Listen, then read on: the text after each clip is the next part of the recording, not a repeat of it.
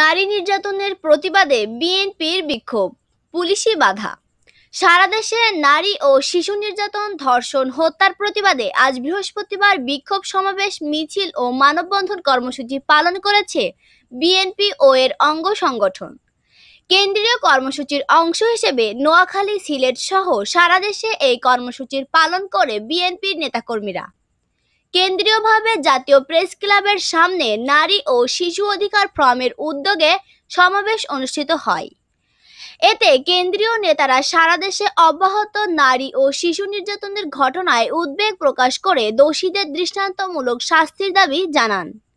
সম্প্রতি নোয়াখালীতে নারীকে বিবস্ত্র করে নির্যাতন এবং সেই ঘটনার ভিডিও সামাজিক যোগাযোগ মাধ্যমে ছড়িয়ে দেওয়া তার আগে সিলেটের এমসি কলেজে গৃহবধূকে সংঘবদ্ধ ধর্ষণের ঘটনায় সারা দেশে প্রতিবাদের ঝড় ওঠে। এসব ঘটনার সঙ্গে আওয়ামী লীগের লোকজন জড়িত থাকায় সরকারও বিব্রতকর পরিস্থিতির মধ্যে পড়ে।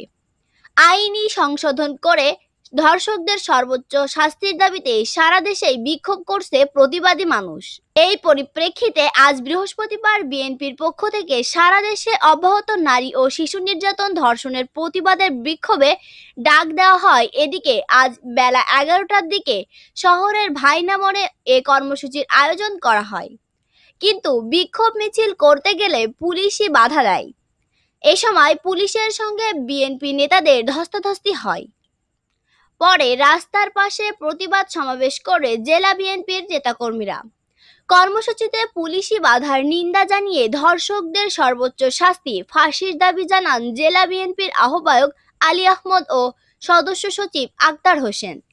এ সময় জেলা বিএনপি, যুবদল, ছাত্রলীগ সহ বিভিন্ন অঙ্গ সংগঠনের নেতাকর্মীরা উপস্থিত ছিলেন।